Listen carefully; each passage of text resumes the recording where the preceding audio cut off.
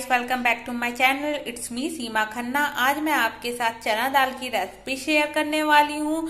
बहुत ही यम्मी और टेस्टी हेल्दी चना दाल, जो कि आप कभी भी बना सकते हो, झटपट बना लोगे। बिल्कुल टाइम नहीं लगता है। साथ में सोयाबीन बड़ी भी है तो चना दाल, सोयाबीन बड़ी दोनों मिक्स कर कर बनाने वाली हूँ। तो चलिए मैं बताती हूँ, इसके लिए मैं क्या क्या करने वाली हूँ।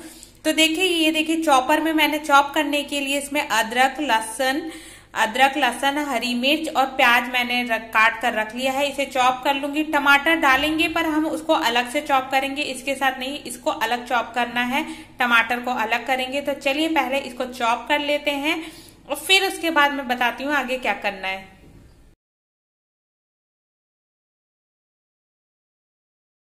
सो so फ्रेंड्स इसमें तेल जो है गरम हो चुका है। मैंने कुकर में ते, तेल डाल दिया था गरम हो गया है। अब हम सोयाबीन बड़ी को अच्छे से भून लेंगे, थोड़ा लाल सा कर लेंगे ताकि ये अच्छे से भुन जाए। तो इस तरीके से सोयाबीन बड़ी को तलकर हम पहले अलग निकाल लेंगे।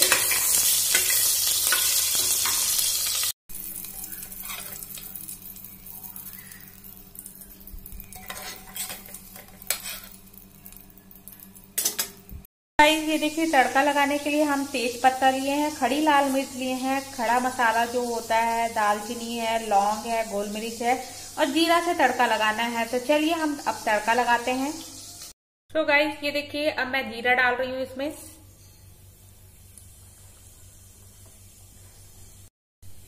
और साथ में डालेंगे तेज पत्ता और खड़ी लाल मिर्च डालेंगे।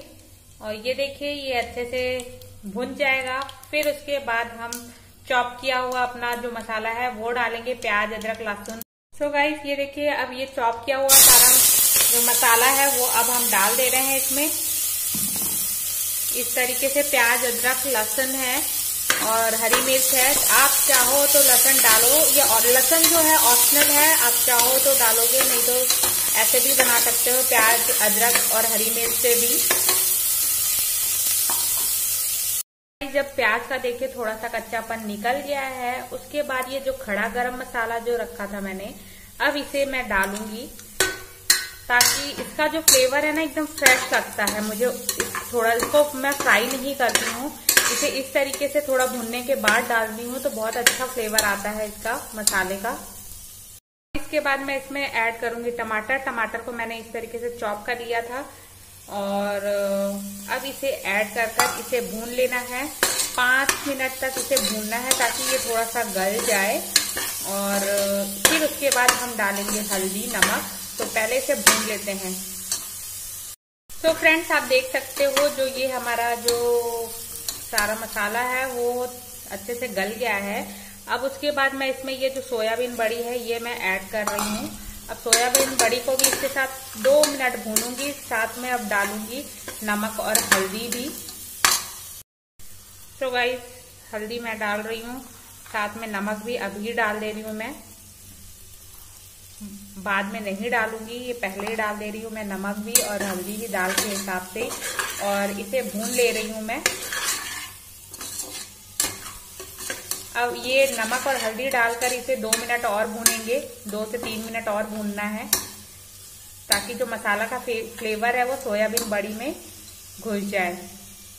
सो so, आप देख सकते हैं कि ये जो हमारा मसाला है पूरा अच्छे से भुन गया है सोयाबीन बड़ी हुई और सारा मसाला अच्छे से भुन गया है। अब हमें डालना है चना दाल और चना दाल को डालकर एक डेढ़ मिनट हमें पका लेना है। चना दाल को मैंने भिगा दिया ताकि दाल जो है जल्दी पक जाए।